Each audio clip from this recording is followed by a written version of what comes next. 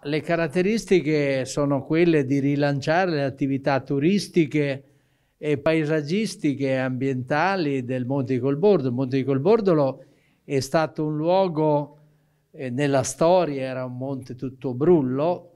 eh, il sindaco di allora gli venne in mente di fare una piantumazione, quindi è un monte oggi tutto piantumato, di boschi, eccetera,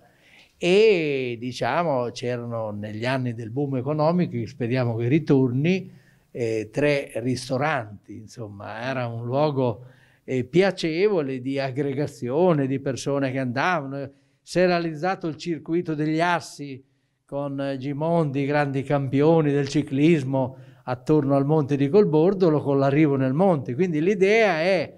ridare diciamo una centralità al Monte di Colbordolo che è uno dei punti più importanti dal punto di vista paesaggistico, ambientale, e storico e culturale della città di Vallefoglia. In secondo luogo, ma questo lo diremo a sé,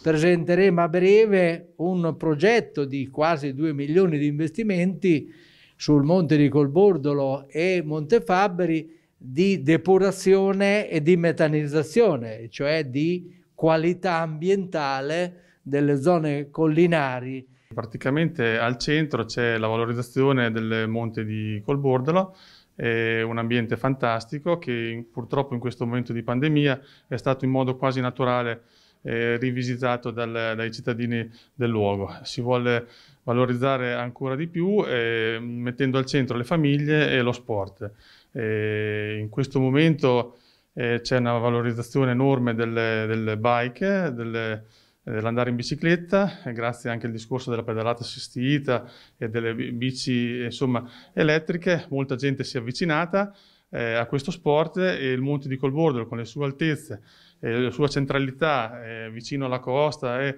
facilmente fruibile da molti eh, turisti e anche locali. Abbiamo pensato innanzitutto a un discorso a livello di sport perché durante questa pandemia come abbiamo visto c'è stata una crescita esponenziale a livello di acquisti di biciclette, la gente ha cominciato diciamo, anche a riassaporare a il territorio e quindi con passeggiate, trekking, queste cose qua.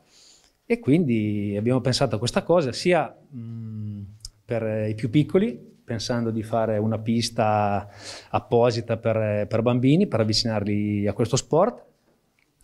e utilizzare vari percorsi che magari in passato usavano, che ne so, cacciatori, passeggiatori lungo i vari boschi della zona e,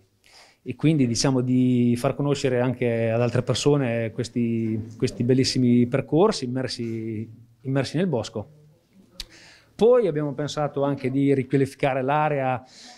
anche a livello turistico, visto che abbiamo la, la, bellissima Urbino qui vicino, la bellissima Montefabbri come centro storico e ci siamo detti perché no creare magari un'area camper di sosta